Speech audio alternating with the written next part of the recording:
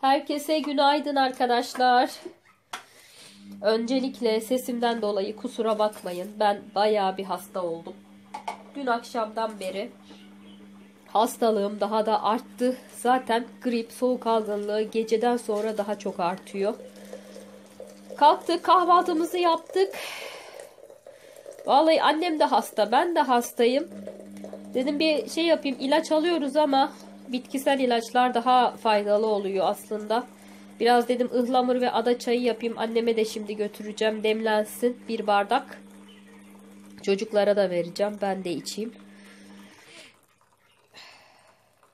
Şöyle iyice.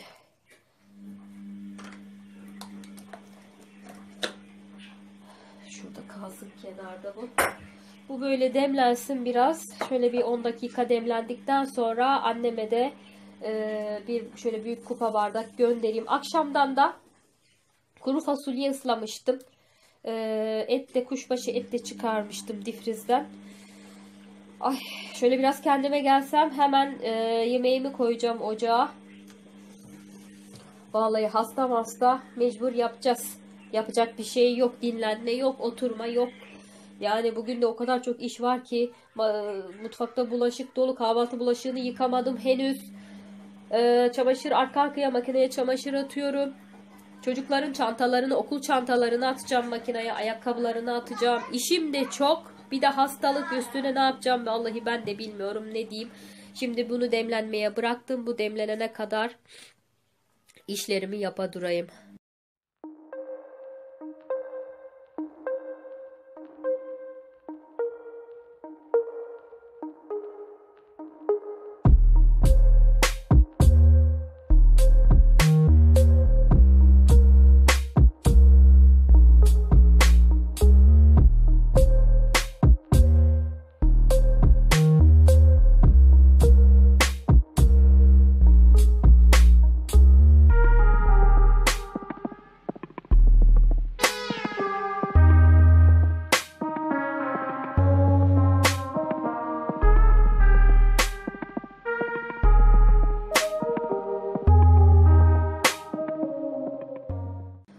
Arkadaşlar ben çocuklara günlük pekmez veriyorum. Ama tabii pekmezi öyle e, katı bir şekilde içemiyorlar. Bu arada makine sıkmaya geçti. Ses olacak şimdi kusura bakmayın. Birer tatlı kaşığı koyuyorum. Sonra üzerine su ekliyorum. Ben de içiyorum böyle. Çocuklara da bu şekilde. Bu elimdeki harnuk pekmezi. Bakın şöyle. Harnuk pekmezi bu. Ee, üzüm pekmezi bitti. Dut pekmezi vardı. O da bitti. Şimdi eşim yeniden sipariş verdi. Elimde bu vardı. Bunu şimdilik bunu vereceğim çocuklara.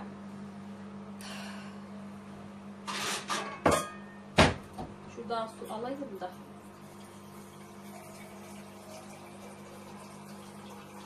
Böyle çok iyi oluyor. Çocuklarınız eğer e, pekmezi öyle kaşıkla içemiyorlarsa böyle şerbet şeklinde sulandırarak verebilirsiniz. Çünkü benimkiler de öyle katı bir şekilde içemiyorlar. Yiyemiyorlar yani öyle. Ben de şerbet yapıyorum bu şekilde. Şerbet yapıyorum. iyi oluyor. Bağışıklıkları güçlendiriyor. Bununla biraz zor oluyor. Şununla karıştırayım. Bal da yediriyorum. Her gün sabah kahvaltıda bal da yediriyorum. Şimdi bunu çocuklara vereceğim. Ben de içeceğim.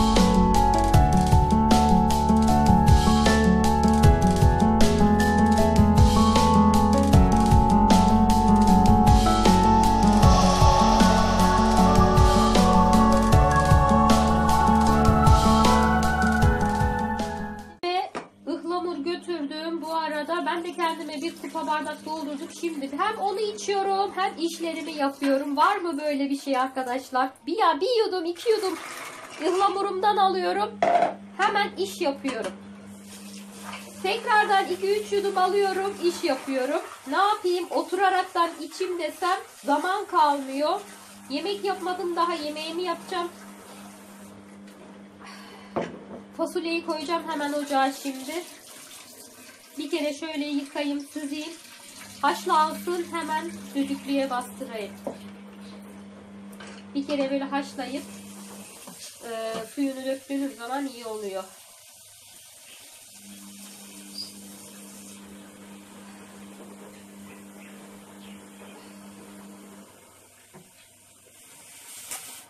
kadar yeter. Ocağa gidiyor bu. Şöyle ocağa koyalım. Altını açalım. Kapağını da kapatayım mı kapatmayayım mı hiç bilmiyorum. Şöyle yarım kapatayım. Çünkü hemen taşı veriyor. Ocak batıyor. Şöyle olsun. Tekrar merhaba arkadaşlar. Mutfaktan çıkamıyorum. Yemeğimi hemen ocağa koymaya başladım. Ee, şeyi haşladım. Fasulyeyi biraz haşladım tabi. Biraz önce ne demiştim? Ee, ocak e, batmasın diye, taşmasın diye yarım açık yapmıştım kapağını. Yarım kapatmıştım kapağını ama gene de taşmış. Ben hemen iki dakika içerileri süpüreyim dedim. Ee, batmış ocak. Hemen sildim. Ee, koydum şeyi düdüklü tenceremi ocağa koydum. Yağını da koydum. ısınıyor.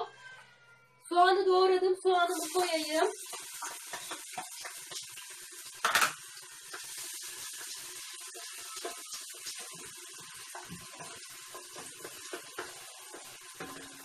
Soğanı şöyle kavrula dursun. Bu arada sizle iki sohbet edelim. Ne yapıyorsunuz? Nasılsınız? İşte gördüğünüz gibi yine hastalığa kapıldık, tutulduk. Ee, daha önce de bir kış başında hasta olmuştum. Biliyorsunuz beni sürekli takip eden takipçilerim bilir. Bayağı bir uzun sürede iyileşmiştim. Çabuk iyileşememiştim. Ee, şeyden e, gripim, soğuk algınlığım iyileşse de paranjitten dolayı öksürüğüm geçmemişti. Bir ay kadar böyle öksürüyordum sürekli. Yine başladık. Yine aynı şeye başladık. Ne diyelim Allah beterinden saklasın, beterinden korusun. İşte havaların dengesiz gitmesi midir, nedir? Vallahi ben de anlamadım ama hep böyle yani millette bir hastalık. Aman diyorum çocuklar hasta olmasın. Onlar bir kere hasta oldu. Geçirdiler hastalığı. Çok şükür şimdi iyiler. Şimdi iyiler ama e, şimdi annem hasta, ben hastayım. Ben mecburen ayakta durmak zorundayım. Vallahi yatsam yatarım yani. Gözlerim yanıyor. Şu burun kenarlarım artık burun silmekten canım acımaya başladı. Baş ağrısı sürekli. Bilirsiniz işte grip halini bilirsiniz yani. Ama mecburum ayakta durmak zorundayım. Annem benden daha kötü. Dün acile götürdü abim. İğne yapmışlar, serum takmışlar. Ee, bir poşet dolusu ilaç yazmışlar. Yatıyor aşağıda. Ne yapsın kadın kalkamıyor hiçbir şey yapamıyor. Ee, ilaçlarını içti işte e, ıhlamur götürmüştüm. Ben de böyle ayakta içiyorum. İş yapa yapa. Bir iş bir yani iki yudum alıyorum çay e, ıhlamur çayımdan e, iş yapıyorum. Ne diyeyim ayakta Allah diyorum annelere güç versin. Gel anneciğim gel. Benim bu kuzum olmasa Bu benim yarı yardımcım. Vallahi yarı yardımcım. Kurban olduğum yarı yardımcım. Yakup'la ilgileniyor. Şimdi Yakup'un uykusu geldi. Ben yemeği bastırmak zorundayım. Annem aç acıkmaya başladı annem. Ee, bir an önce yemeği yapayım. Hemen ona vereyim yesin. Ya Alper'e dedim oğlum dedim ay şeyle Yakup'la ilgilen uykusu geldi. Hadi git onu salla sen annem. Şöyle ayağında biraz salla. Hemen uyur çünkü çok uykusu gelmiş onun. Şöyle biraz altını açayım da çabuk kavrulsun. Kavruldu zaten. Böyle arkadaşlar vallahi ne diyelim Allah'ım Rabbim elden ayaktan düşürmesin. Çok zor. Allah elden ayaktan düşürmesin.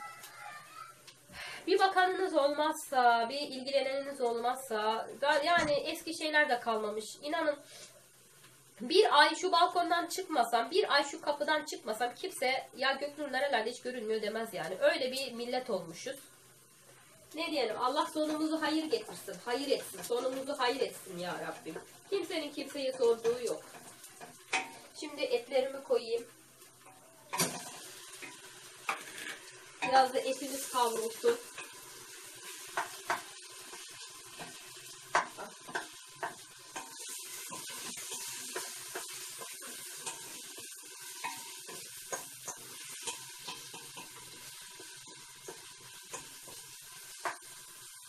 Böyle arkadaşlar. Ben yemeğimi bastırayım. Şimdi etten sonra et birazcık kavrulsun salçasını öyle koyayım dedim. Çünkü soğanın üstüne salça koyduğum zaman bu sefer eti de, eti de kavurayım derken iyice salça yanıyor gibi oluyor. Herkesin yapış şekli farklı. Ben de çeşit çeşit yaparım. Bir öyle yaparım, bir böyle yaparım. Bir önce salçasını koyarım, bir salçasını sonra koyarım. Değişik değişik yaparım yani. Şimdi etim kavrulana kadar gidin bir Yakup'a bakayım. Sonra görüşürüz. Vallahi nefes alamıyorum. Konuşuyorum ya. Nefes alamıyorum. Şuralarım tıkanıyor. Burnum e, artık şey olur. Burnum tıkanıyor. Sürekli ağızdan nefes aldıkça da buralarım yanmaya başlıyor. Allah'ım ne diyeyim ya Rabbim tüm hastalara, tüm hasta olanlara şifa versin. Fasulyesini de koydum. Bayağı bir kavruldu. Şimdi sıcak suyunu koyacağım.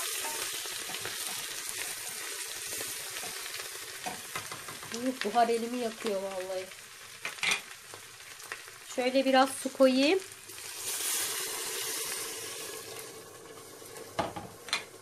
Bir karıştırayım.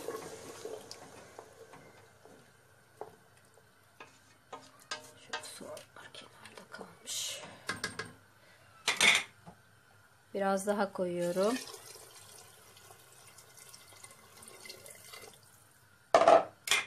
Sıcak su koydum. İyi gibi duruyor suyu. Bir kaynasın. Şöyle fokur fokur kaynadıktan sonra kapağını kapatacağım.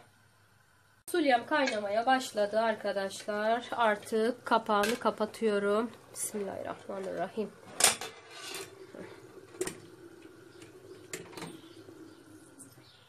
Bismillah. Altını da kısacağım. Yoksa bir anda fış diye ses çıkarır. Kısık ateşte yavaş yavaş pişsin artık.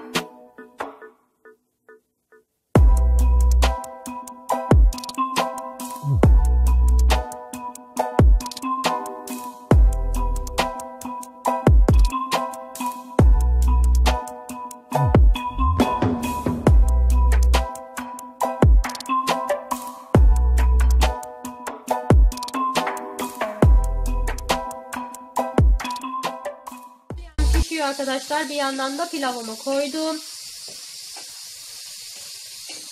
Bir yarım saate kadar fasulye pişer. O zamana kadar pilav da pişer.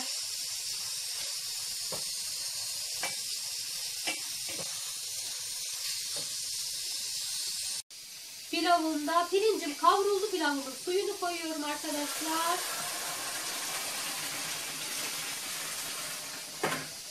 Şöyle bir karıştırayım. Çok az da tuz atayım.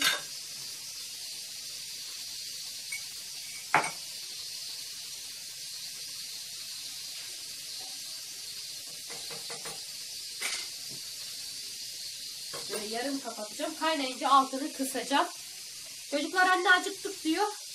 İyi dedim pilav hazır olmak üzere bir 15 dakikaya kadar pilav pişerse eşim de yolda geliyor. İlk iş hemen önce annemin yemeğini vereyim. O bayağı acıktı beklettim onu bugün. Sonra da biz yemeğimizi yeriz artık. Eşimin iş çamaşırlarını makineye atmıştım. Onları onlar çıktı. Onları serdim. Şimdi ne kadar ayakkabı varsa hepsini makineye atacağım. Bir güzel yıkansın. Vallahi akşamdan atacağım ki yarına kadar kurusun. Notlar, notlar. Sonra da şunu bir güzel silerim. Boşaltıp boşalınca tertemiz yaparım. Şurası da çıkmış yine. Sürekli çıkıyor burayı. Neyse sonra yaparım ben. Ay, Aylin'in ayakkabısı temiz duruyor daha. Onu yeni yıkamıştım ama şu kirlendi. Şunlar. Bakalım bakalım bunlar. Aylin Hanım'ın ayakkabıları bunlar. Yine de temiz ya hiç atmaya gerek yok bunu. Alta bakalım en altta ne var? Yine Alper'in ayakkabısı. Eşimin ayakkabıları var mı? O her zaman istemiyor yıkanmasını. Ona bir sorayım da öyle atayım. Ayakkabılar yıkanıyor. Köpük köpük oldu. Ne güzel. Pırıl pırıl. Fasulyem pişti arkadaşlar. Bakın çok güzel böyle hamur gibi pişmiş. İnanın fasulyeleri çok güzel hamur gibi pişmiş. Pilavım da pişti. Şimdi hemen anneme bir tepsi hazırlayıp aşağıya indireceğim. Hazırladım bir tepsi anneme koydum. Hemen kapağını kapatayım. Aşağı indirene kadar soğumasın. Hemen indirim annem yesin yemeğini. Ayakkabılar yıkandı. Şimdi bunları çıkaracağım. Çantaları koyacağım makineye. Çantalar da bir güzel yıkansın.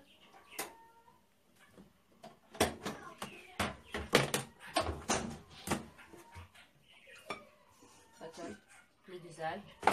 Pırıl pırıl oldu ayakkabılar.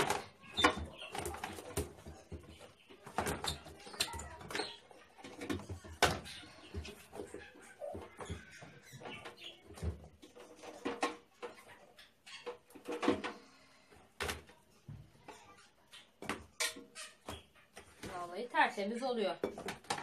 İçime siniyor biliyor musunuz? Böyle arada bir makineye atıyorum ya. Şimdi çocukların okul çantalarını atıyorum makineye.